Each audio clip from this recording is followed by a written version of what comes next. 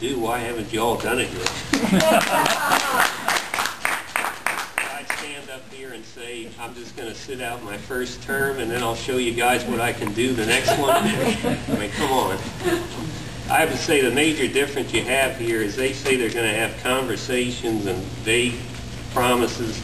We know what the conversation is. It's going to be them saying to you, what's in your wallet? That's all they ever do. In contrast to that, I proposed a detailed fiscal plan, which you can see on my website, it's a three-point plan.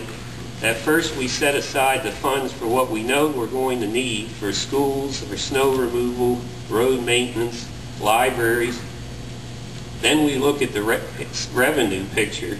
I propose eight new revenue streams, and we're going to start collecting impact taxes on all development which Marc Elrich has actually flip-flopped on. In September 2009, he said we should lower it to help promote development projects.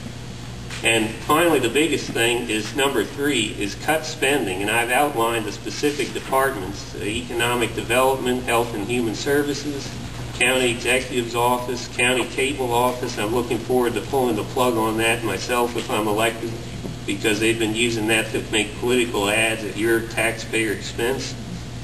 And uh, George Leventhal is just using the Office of Consumer Protection for an election year ad for the uh, lawsuit they're going to participate in. So look at my specific plan you. as opposed to their promises. Thank you. Thank you.